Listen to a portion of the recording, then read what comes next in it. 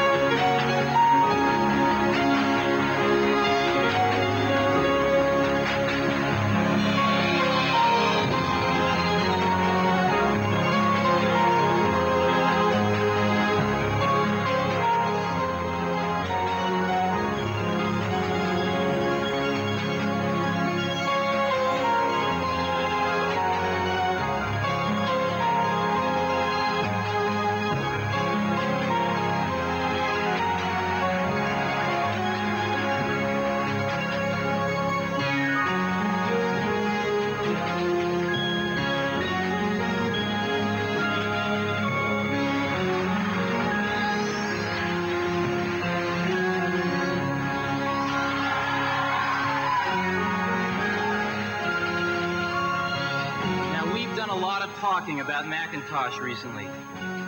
But today, for the first time ever, I'd like to let Macintosh speak for itself.